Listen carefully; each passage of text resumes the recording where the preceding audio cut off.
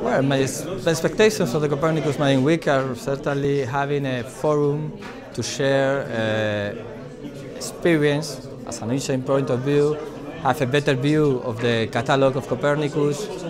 discovering other options, another way of uh, using this product because I'm a skilled user in some kind of products, but not all of them. It's certainly a very extensive catalog, so it's a good opportunity to know and discover the catalog Copernicus covering.